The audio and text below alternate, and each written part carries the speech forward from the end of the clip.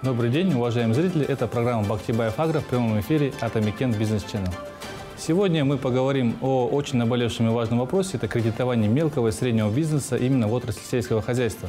И сегодня у нас в гостях это управляющий директор аграрно-кредитной корпорации Кинжибаев Айжан и директор департамента по вопросам занятости Национальной палаты предпринимателей Дулатов Женисбек. Здравствуйте. Здравствуйте. Я хотел бы начать нашу беседу э, с такого общего вопроса. Вообще доля мелко-среднего бизнеса в Казахстане именно в отрасли АПК, какову долю занимает? Но малый и средний бизнес именно в сфере АПК занимает порядка 99%. Угу. То есть это специфика сельского хозяйства такая, что в основном это представители малого и среднего бизнеса, которые готовят именно сырьевую базу для наших переработчиков. Угу. А э, крупный бизнес, он представлен совсем э, на сегодняшний день, это порядка меньше, менее даже 1%. Это в основном крупные предприятия с, со средней численностью больше 250 человек. И вот как э, гос, государственные э, компании, которые занимаются именно развитием отрасли сельского хозяйства, ставите ли вы перед собой задачу по так скажем, взращиванию бизнесменов из вот этих мелких э, сельчан? Из да. мелких вот э, по размеру, вы говорите, 99%. Ставите ли вы такую перед собой задачу? Да, обязательно. То есть э, мы нацелены на то, что а, наши а, клиенты, в основном это начинают совсем с мелких а, займов. 3-5 коров там. Да, 3-5 коров. Угу. Постепенно развиваясь, мы их сопровождаем, ежегодно мониторим, помогаем где-то. Угу. Они переходят уже в стандарт средних заемщиков, угу. а, и это нас очень радует. Угу. А теперь уже благодаря тому, что они могут скооперироваться, либо переходить на дополнительные отрасли, например, на переработку уже, развиваясь дальше, они уже постепенно переходят в представителей крупного ну, Давайте, бизнеса. Айжан, мы сегодня подготовили сюжет с владельцем животноводческой фермы э, Науанов, Науаном Дауренбековым, который воспользовался как раз-таки вашей программой в аграрной кредит корпорации по программе «Кулан» и э, начал расширять свой бизнес. Давайте внимание на экран. Науан Дауренбеков лошадьми увлекается с детства. Сначала с братом помогали отцу по хозяйству, потом занялись животноводством сами. Выращивали и овец, и племенных коров.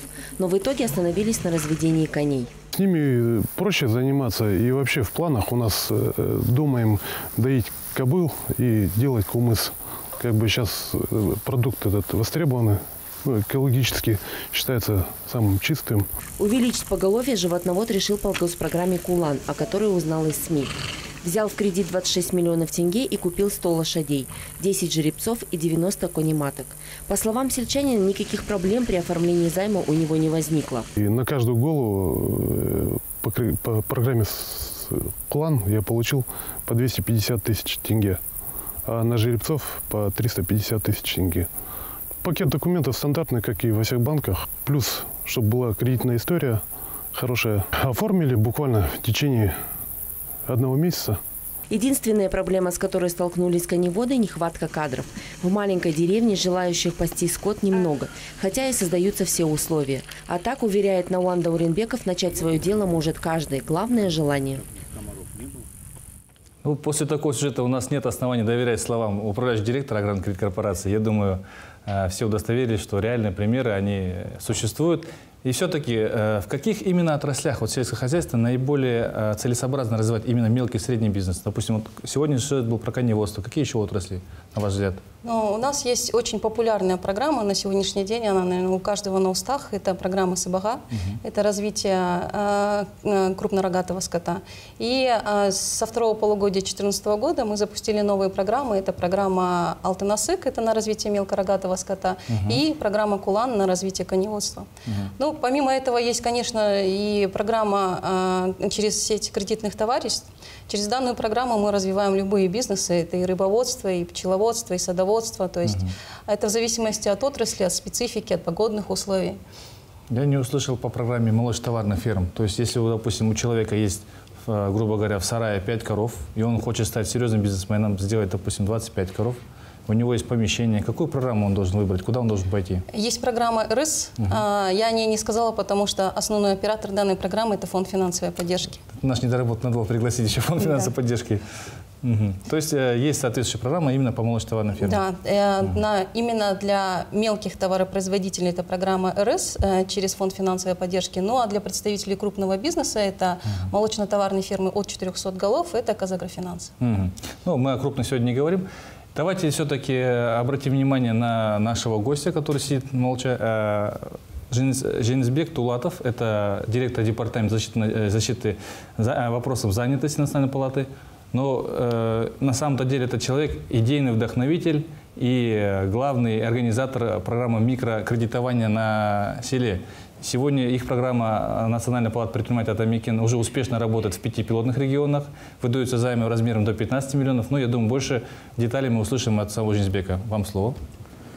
Да, Э, основная как бы, идеология цели э, МПП э, это было именно борьба с безработицей. Сейчас, вы, насколько знаете, в тяжелые времена основная существенная помощь для предпринимателей – это необходимо финансы для того, чтобы они могли бы открыть какое-то малое предприятие, малый бизнес для себя. Поэтому период нашей деятельности, более года, мы выяснили, что помимо сопровождения проектов, которые мы оказываем, надо, необходимо уже реально а, малому бизнесу помочь. Больше всего малый бизнес находится у нас на селе, поэтому на данном рынке у нас очень мало игроков, именно финансовых, кто помочь. Это кроме дочерней компании «Казагро» практически никто не финансирует. Поэтому мы решили параллельно оказать непосильную помощь а, в развитии села и в борьбе с безработицей. Поэтому данная программа у нас очень успешно пользуется спросом именно на селе, именно у малого бизнеса. Ну, это очень хорошая программа. Я думаю, она прям реально. Вот вы сказали, что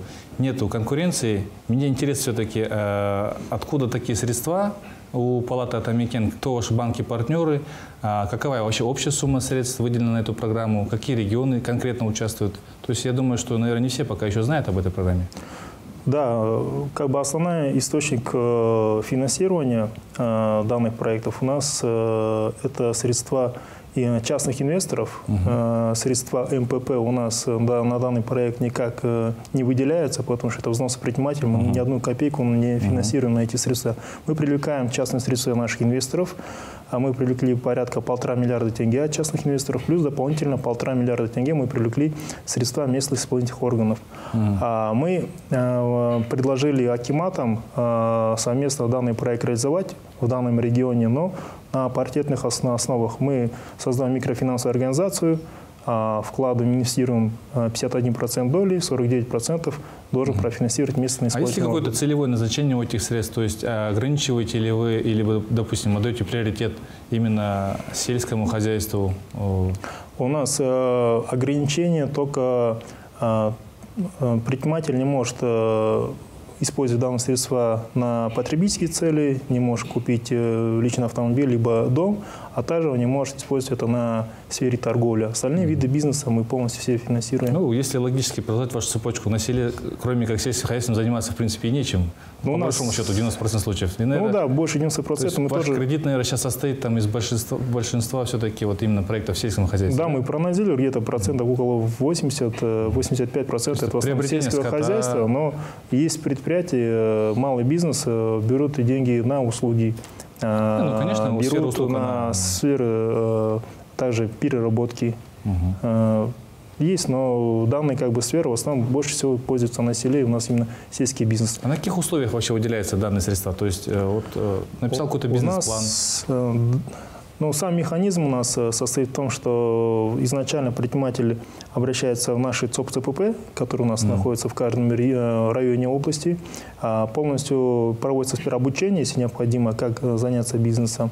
А, готовится перечень документов необходимых, пишется бизнес-план совместно с предпринимателем, а, рассматривается кредитная заявка, то же самое в течение месяца кредит получает, также мы проводим дальнейшее сопровождение э, вплоть до реализации проектов. У нас, а на какой срок выдаются кредиты? Какая процентная ставка? Сами условия кредитования у нас зависят от э, э, следующих направлений. Мы финансируем в разных регионах по-разному. У нас есть финансовые партнеры, такие же, как в лице фонда финансовой поддержки, а, которые мы даем, э, финансируем без процентов, даем деньги без процентов, они, соответственно, финансируют по 6% угу.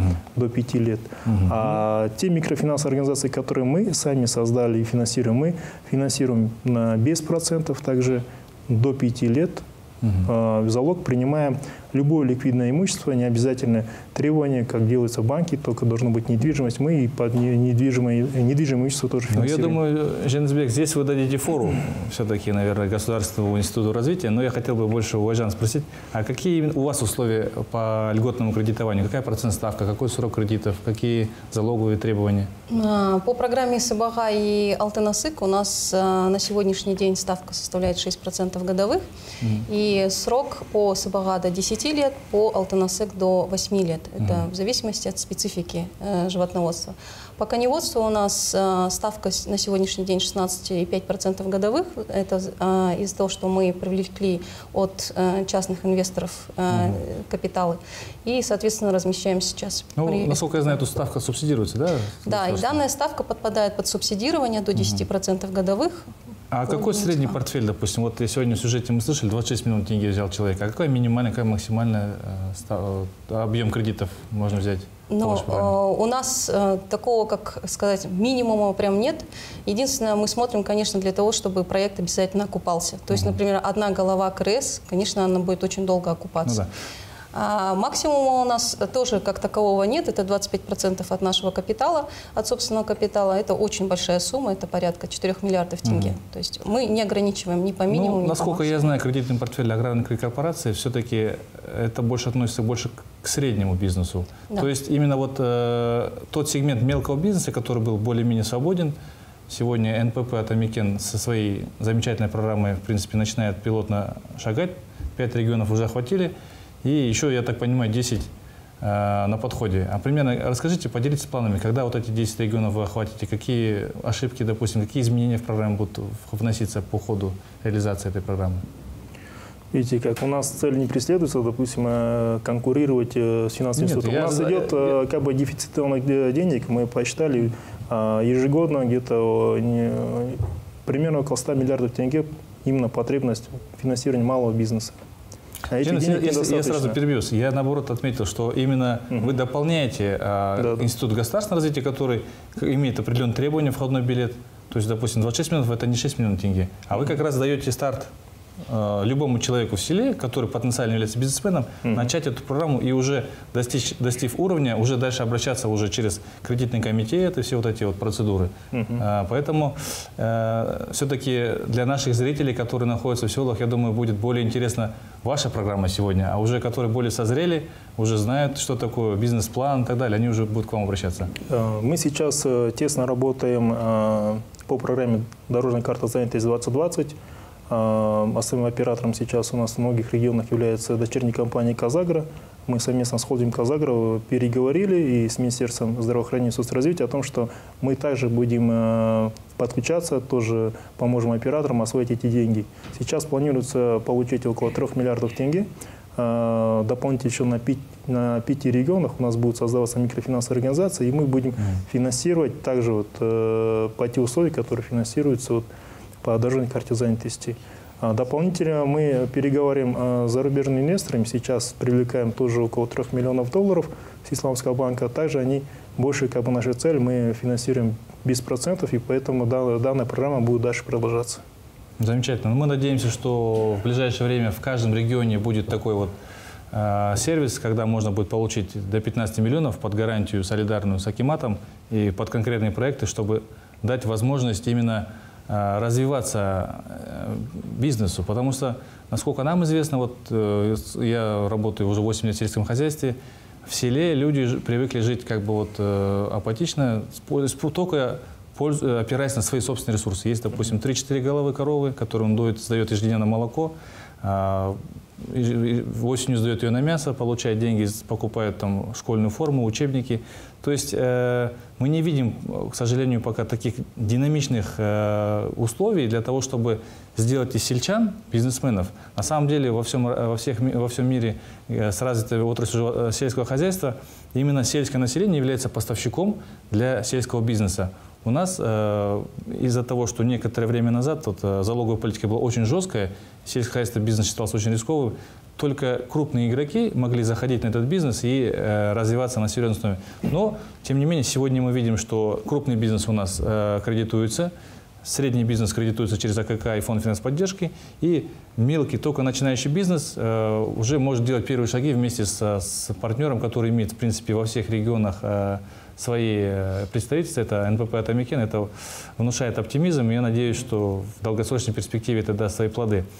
Я хотел бы э, спросить у Айжан, какие, на ваш взгляд, у вас активные регионы и в каких отраслях, допустим, овцеводство на юге, Сыбага там на севере, вот такие маленькие по животноводству у нас самые активные регионы, это в основном южные регионы. Угу. Это Южно-Казахстанская область, лидеры у нас ежегодные, Алматинская область и Жамбыльская область. Угу. Но а по растениеводству это, конечно же, от специфики зависит. Э, это в основном у нас лидеры зерносеющие регионы. Это Кустанайская область, Северо-Казахстанская область, угу. Акмолинская область и частично Карагандинская область. Угу. И по животноводству хотелось бы еще отметить, что Западно-Казахстанская область сейчас вот э, очень активно набирает обороты, уже второй год год они, так сказать, за югом идут прямо по пятам. Ну, это очень интересно, в принципе, отражает реалии. А что касается, вот вы сегодня обмолвились по кредитным товариществам, тоже многие люди интересуются, а, как понять товарищество, на каких основах, должны ли они входить своим имуществом, либо они просто солидарной гарантию входят. Вот побольше, Айжан, об этом можете э, рассказать? Какие а. кредит, ну, допустим, еще и к тому же льготы, которые новым законодательством предусмотрены? Вот в этом контексте? Кредитное товарищество – это вообще очень уникальная система кредитования. Она была запущена в 2001 году. Угу. А, и отличительная черта данной программы, что необходимо войти в это кредитное товарищество, но плюсы в том, что оно представлено в каждом районе. Mm То есть у нас у Казахстана есть специфика, что очень долго ехать до областного центра, и никакая компания не может себе позволить э, держать свой штат в каждом районе. Mm Вот благодаря данной программе кредитным товариществам, э, каждое кредитное товарищество есть в районе, прямо на местах. То есть, э, э, СХТ, то есть сельчанин может приехать туда буквально там за 10-15 минут, сдать туда пакет документов. А кто, учредитель, кто учредитель кредитного Учредитель кредитного товарищества – это именно с, э, все участники сами этого кредитного товарищества. Сами бизнесмены? Да, то есть они становятся соучредителями угу. данного кредитного товарищества, они сами выбирают себе председателя, сами решают бюджет, угу. сами определяют э, свою кредитную политику. А, ставки там у нас очень лояльные. На сегодняшний день мы кредитуем само кредитное товарищество по 4% годовых, а уже конечного заемщика кредитное товарищество финансирует до 9% годовых. И оно само выбирает, кому давать, на само какие средства, выбирает, там, да. вот сказали, пчеловодство можно, да.